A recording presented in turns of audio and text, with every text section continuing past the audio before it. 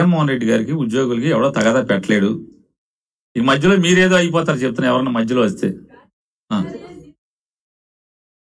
ఎవరు వచ్చినా ఊరికే సరదాకి నువ్వు నాకు అనుకో కాబట్టి బాగా నేను నేను అంటున్నా. చంద్రబాబు పేరు అంటే మళ్ళీ మావాడి పేరు ఎందుకు తీసామని ఎవడో ఒకడు అనేవాడు ఉంటాడు కాబట్టి చంద్రబాబు బీజేపీ వాళ్ళు ఎన్ని ఈ ఇక చంద్రబాబు నాయుడు మాటలు వినే పరిస్థితి మనం పెట్టుకుంటే అండి ఈ చంద్రబాబు నాయుడు మాట్లాడినాడు ఇక గాడి ఎక్కినోడికి తేడా ఏమన్నది అంతా ఒకటే అవుతుంది. ఈ మహనీయుడు ఇదే టీచర్ల గురించి ఏమేం చేశాడు ఒకసారి కావాలా మనకి? ఆయన ముఖ్యమంత్రిగా ఉండగా? ఎన్ని? ఎన్ని అకృత్యాలు?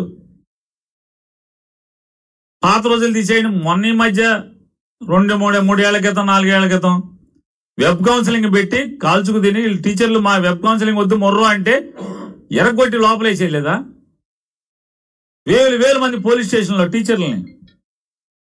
ఒక్కడ మాట్లాడతాం సార్. అసలు ఏంట్రా నా టీచర్లు? ఏంటి మీ బాధ ఏంటని ప్రజాస్వామ్యబద్ధంగా ఒకసారి అసలు ఏంటి? మేము జీవో ఇచ్చాం వెబ్ కౌన్సిలింగ్. ఏంటి రెండు మాట్లాడదాం? ఇందులో ఇబ్బంది ఏంటని కన్విన్స్ చేసే ప్రయత్నం చేశారా?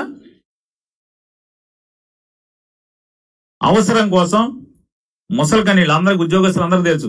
ఈ రేపు వచ్చే మనకు మన్నెక్కి తొక్కేస్తాడు బాబా అని తెలుసు. కాబట్టి ఈయన ఎంత తాపత్రయపడి పాగుళ్ళైనా సరే ఈయన ముసలి కన్నీళ్ళు దొంగ ముసలి కన్నీళ్ళు ఏడ్చి గావురు గావురు ఏడ్చినా కూడా ఉద్యోగస్తులు నుంచి చంద్రబాబుని నమ్మే పరిస్థితి ఉండదండి. ఇప్పుడు ఎవరు చెప్పొచ్చు? నేను గతంలో మేలు చేశాను. ఇది చేశాను అని చెప్పాను. ఇదే ఇదంతా కూడా కాపీ కొట్టే బ్యాచ్ కదా చంద్రబాబు నాయుడు గారిది. కేసీఆర్ ఏం చేస్తే? కేసీఆర్ కొడుకు ఉద్యోగం ఇచ్చాడా? మనం కొడుక్కి. అక్కడ ఫార్టీ టూ మనం ఫార్టీ టూ. ఇక అక్కడ ఏం చేస్తే అదే జగ జీవో. కానీ వాళ్ళు జగన్మోహన్ రెడ్డి గారు ఏం చేస్తే పక్క రాష్ట్రాల్లో అదే జరుగుతుంది కదా.